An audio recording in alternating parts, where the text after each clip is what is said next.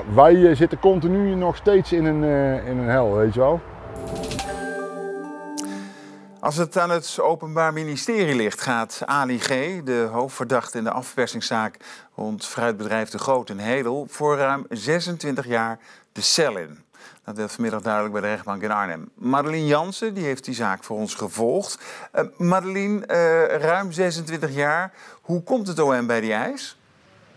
Het OM ziet Ali G. uit Bussum als het meeste brein achter de afpersing en de daaropvolgende aanslagen in de Bommelerwaard.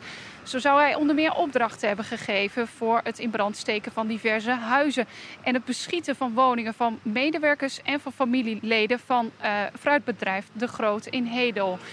Het OM kwalificeert die incidenten, die aanslagen als moordopdrachten. En daardoor komt zij tot die eis, die strafeis van ruim 26 jaar.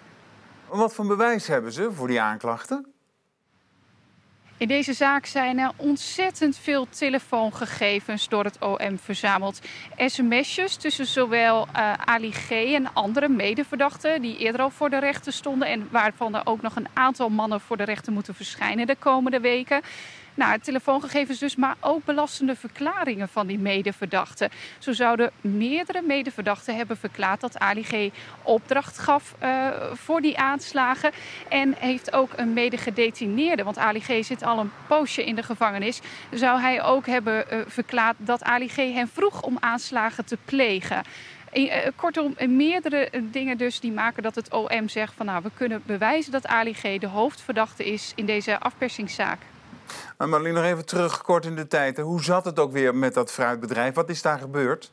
Ja, de aanslagen beginnen in mei 2019 na de vondst van ruim 400 kilo cocaïne tussen de bananen. Daarna krijgt de directie van het bedrijf dreig-sms'jes. En als ze niet snel met miljoenen over de brug komen... dan uh, zouden uh, de medewerkers moeten vrezen voor hun leven... of familieleden van het fruitbedrijf.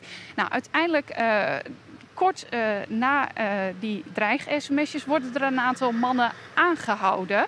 En eigenlijk uh, gebeurt er dan iets vreemds. Want dan belandt er een lijst met medewerkers, met namen van medewerkers en met adressen van medewerkers in handen van de verdachten die vastzitten voor die dreig-sms'jes. En daarna ontstaan er diverse aanslagen, ruim 20, bij medewerkers en familieleden van fruitbedrijf De Groot. En wat zegt de verdachte dan over zijn betrokkenheid bij die zaak? Ali G. was vandaag niet aanwezig in de rechtbank. Volgens zijn advocaat heeft hij vannacht zijn hele cel ondergekotst en kon daardoor niet aanwezig zijn. Uh, hier vandaag in de rechtbank. De afgelopen twee dagen was hij er wel. Zijn reactie op de strafeis weten we dus niet. Maar tot nu toe zegt hij zelf telkens onschuldig te zijn en niets te maken te hebben met de afpersingen of de aanslagen. Hij zegt dat er iemand boven hem staat die alles gecoördineerd heeft. Nou ja, het OM zegt daarover dat dat onzin is en dat dat absoluut niet bewezen kan worden dat, uh, nou ja, dat Ali G er dus niks mee te maken heeft. Ruim 26 jaar dus geëist tegen Ali G. Die reageert niet, want die was er niet bij vandaag, vertelde je net. Maar de betrokkenen, hoe reageren die? De directieleden van fruitbedrijf uh, De Groot in Hedel willen niet voor camera reageren. Wel sprak ik vanmiddag even kort met Hans Slaman, de woordvoerder van het fruitbedrijf. Hij reageert op de eis. En vanmiddag hebben we ook kort gesproken met Henry Sepers. Hij raakte zwaar gewond door een van de aanslagen. Zijn huis, het huis van hem en zijn broer, werd in de brand gestoken midden in de nacht. En ze moesten vrezen voor hun leven. En hij reageert op die eis van ruim 26 jaar. Ja, dat is lang. ja, dus ik zei, ja, dat vind ik wel lang. Maar ja, aan de, aan de andere kant, als, hij, uh, als, als het nu bewezen is en wordt dat hij daadwerkelijk hiermee te maken heeft, ja, heeft hij daar ook wel een beetje op zichzelf, afgeroepen, lijkt mij. Wij uh, zitten continu nog steeds in een, uh, in een hel, weet je wel. En dat gaat echt niet weg omdat hij 26 jaar en 7 maanden heeft gekregen. Of zal krijgen, of misschien niet gaat krijgen, snap je? Wij, wij, wij zitten nog steeds in een, in een, in een hel. Uh, en ook als hij daar naar buiten komt, dan gaat hij misschien weer, ik hoop het niet voor hem, maar dan gaat hij waarschijnlijk weer lekker verder. En wij, uh, wij uh, zitten nog steeds met die smart waarschijnlijk, omdat dit nooit meer uit je leven weggaat, tenminste niet uit je geest, zeg maar. De straf is altijd te laag voor die mensen. Wat die mensen mee hebben gemaakt is verschrikkelijk. Waar ik heel blij mee ben, is de woorden van de officier toen hij de strafeis uitsprak.